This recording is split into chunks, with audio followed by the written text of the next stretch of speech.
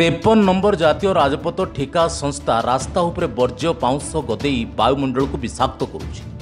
ଆଉ ଏନେଇ ଅଭିଯୋଗ ପରେ ରାଜ୍ୟପାଳଙ୍କ ତରଫରୁ ଜଙ୍ଗଲ ଓ ପରିବେଶ ବିଭାଗକୁ ଏବଂ ମୁଖ୍ୟମନ୍ତ୍ରୀଙ୍କ ତରଫରୁ ଜାତୀୟ ରାଜପଥ କର୍ତ୍ତୃପକ୍ଷଙ୍କ ଆବଶ୍ୟକ କାର୍ଯ୍ୟାନୁଷ୍ଠାନ ପାଇଁ ଜୁନ୍ ଛଅ ତାରିଖର ନିର୍ଦ୍ଦେଶ ଥିଲେ ବି କୌଣସି ପଦକ୍ଷେପ ଏଯାଏଁ ଗ୍ରହଣ କରାଯାଉନାହିଁ। ଏଥିନେଇ ଲୋକଙ୍କ ପ୍ରତିବାଦକୁ ମଧ୍ୟ ଚାପି ଦିଆଯାଉଛି। ତେବେ ଖବରରୁ ପ୍ରକାଶ ଚଣ୍ଡିଖୋଲରୁ ଡୁବୁରି ଅଭିମୁଖେ ଯାଇଥିବା ଜାତୀୟ ରାଜପଥର ସମ୍ପ୍ରସାରଣ କାର୍ଯ୍ୟରେ ହଜାର ହଜାର ଟ୍ରିପ୍ ବର୍ଜ୍ୟ ପାଉଁଶ ଗଦା କରାଯାଇ ରାସ୍ତା ନିର୍ମାଣ କରାଯାଉଛି। ମଣିଷ କିମ୍ବା ଜୀବଜଗତ ନିଶ୍ୱାସ ପ୍ରଶ୍ୱାସରେ ଏହି ବର୍ଜ୍ୟ ପାଉଁଶ ଯିବା ଜୀବନ ପାଇଁ ଅତି ବିପଜ୍ଜନକ। ପବନରେ ଏହି ପାଉଁଶ ଜାତୀୟ ରାଜପଥରେ ଉଡ଼ୁଥିବା ବେଳେ ରାସ୍ତାରେ ଘୂର୍ଣ୍ଣିଝଡ଼ ଭଳି ଅତି ବିପଜ୍ଜନକ ପରିସ୍ଥିତି ମଧ୍ୟ ସୃଷ୍ଟି ହେଉଛି।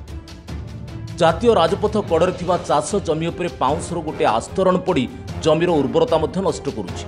ଅନେକ କ୍ଷେତ୍ରରେ ବର୍ଜ୍ୟ ପାଉଁଶ ବର୍ଷା ପାଣିରେ ଭାସି ଗାଁ ଗଣ୍ଡାରେ ଏବଂ ଚାଷ ଜମିରେ ମଧ୍ୟ ମିଶୁଛି। କେତେକ ଗାଁରେ ଥିବା କୂଅ ପୋଖରୀରେ ପାଉଁଶ ଉଡ଼ି ପଡ଼ିବା ଫଳରେ ପାଣି ସମ୍ପୂର୍ଣ୍ଣ ବ୍ୟବହାର ଅନୁପଯୁକ୍ତ ହୋଇଯାଇଛି। ଆଉ ଏଭଳି ଅନ୍ୟାୟକୁ ଅନେକ ସ୍ଥାନରେ ଲୋକ ବିରୋଧ କରୁଥିଲେ। ଗୁଣ୍ଡାଙ୍କ ନାଲି ଆଖିରେ ଲୋକଙ୍କ ସ୍ୱରକୁ ଦବେଇ ଦିଆଯାଉଛି। ଧର୍ମଶାଳା ପାହାଡ଼ ପର୍ବତ ସୁରକ୍ଷା ମଞ୍ଚ ସଭାପତି ତଥା ସଡ଼କ ସୁରକ୍ଷା କମିଟି ସଭ୍ୟ ସତୀଶ ବିଶ୍ୱାଳ ମାନବ ସୁପ୍ରିମକୋର୍ଟ ହାଇକୋର୍ଟ ମୁଖ୍ୟ ବିଚାରପତି ଲୋକପାଳ ଓ ମାନବାଧିକାର କମିଶନଙ୍କୁ ପତ୍ର ଲେଖି ଦର୍ଶାଇଛନ୍ତି ଯେ ଉନ୍ନୟନ କାର୍ଯ୍ୟ ଲୋକଙ୍କ ମଙ୍ଗଳ ପାଇଁ କରାଯାଏ। ଲୋକଙ୍କ ଜୀବନକୁ ବିପଦ ବଳୟକୁ ନେଇ କୌଣସି ଉନ୍ନୟନ କାର୍ଯ୍ୟ ବିଧିସମ୍ମତ ନୁହେଁ।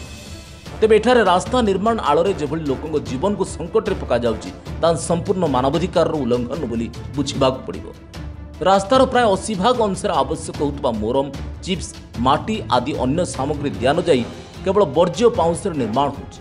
ଏହି ବର୍ଜ୍ୟ ପାଉଁଶକୁ ଆବଶ୍ୟକ ରୋଲିଂ ମଧ୍ୟ କରାଯାଉ ନାହିଁ ଫଳରେ ରାସ୍ତାରେ ଗଦା ହୋଇଥିବା ବର୍ଜ୍ୟ ପାଉଁଶ କଡ଼ରେ ଏବଂ ଉପରେ ନାଁକୁ ମାତ୍ର ମୋରମ ପକାଯାଇ ଏହି ବର୍ଜ୍ୟ ପାଉଁଶକୁ ଘୋଡ଼ାଇବାକୁ ଚେଷ୍ଟା କରାଯାଉଛି। ଫଳରେ ରାସ୍ତାର କଡ଼ରୁ ଯେ କେହି ରାସ୍ତାକୁ ଲକ୍ଷ୍ୟ କଲେ ବର୍ଜ୍ୟ ପାଉଁଶରେ ସମ୍ପୂର୍ଣ୍ଣ ରାସ୍ତା ନିର୍ମାଣ ହେଉଥିବାର ଜଣାପଡ଼ୁନାହିଁ। ରାସ୍ତା ନିର୍ମାଣ ପାଇଁ ପୂର୍ବରୁ ପ୍ରସ୍ତୁତ ହୋଇଥିବା ନିର୍ମାଣସ୍ଥଳୀକୁ ଶୈଳୀକୁ ଉଲ୍ଲଙ୍ଘନ କରାଯାଇ ଏଭଳି ନିର୍ମାଣ କରାଯାଉଛି ଯାହାଦ୍ୱାରା ରାସ୍ତାର ସ୍ଥାୟିତ୍ୱକୁ ନେଇ ମଧ୍ୟ ପ୍ରଶ୍ନ ସୃଷ୍ଟି ହୋଇଛି। Bureau report Jajpur news.